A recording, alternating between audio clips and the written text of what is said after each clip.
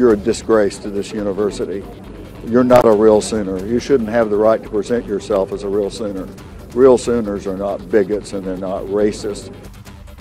This nine second video forcing Oklahoma's largest university to take drastic action. An OU fraternity shut down amid allegations of racism.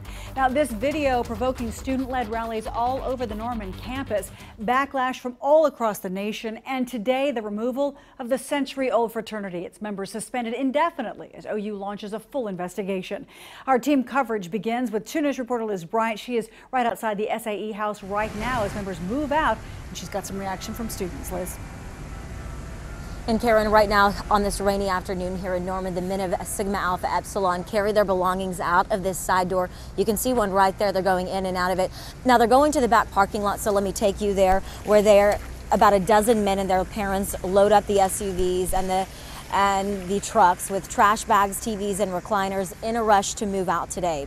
An SAE mom told me, We are all not like this. We have common sense. I also, in the last 20 minutes, spoke to the president of the Black Student Association. He hopes SAE apologizes, but so far the men are silent. He told me, quote, a lot of what you hear across campus is this, and we aren't shocked. But we are shocked someone shared it, and he said that person has some guts. Now take a look at the black spray paint graffiti on the front of this home and the side of this brick home. It says tear it D, possibly meaning tear it down, the SAE house. Now OU Facilities Management, they set these lights up all across this SAE home. The workers said that it's to ensure these men have enough lights to move out tonight and also that vandals don't strike again. Continuing coverage tonight at 10, uh, we want you to hear more of what the president of the Black Student Association has to say.